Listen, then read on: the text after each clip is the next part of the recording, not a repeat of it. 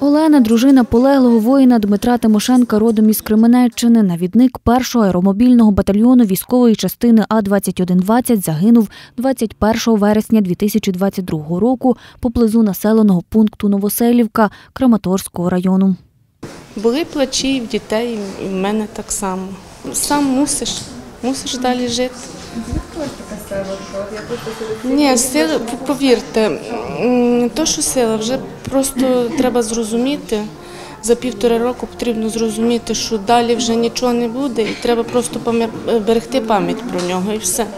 У Тернопіль Олена приїхала отримати нагороду свого героя. Орденом за мужність Дмитра Тимошенка нагородили посмертно. Пам'ятний захід організувала Тернопільська обласна військова адміністрація з нагоди Дня українського добровольця для чоловіків і жінок, які щоденно б'ються на передовій за нашу державу у складі різних бойових підрозділів. Державні нагороди родинам воїнів з усієї області вручив заступник голови ОВА Віктор Устенко. Сьогодні ми відзначаємо державними нагородами подвиг тих, хто сам вибрав свій шлях. Я переконаний, що як би вам, як мамі, чи дружині, чи батькові, не хотілося залишити вдома, але це був його вибір. Чи вони мали 20 років, чи вони мали 45, чи вони мали 55. Але вони загинули за неньку країну.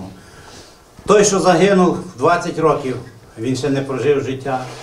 Той, який загинув в 50 років, він прожив життя, але не залишивши, може, добрий слід родині. Прийміть щирі співчуття від капеланської служби.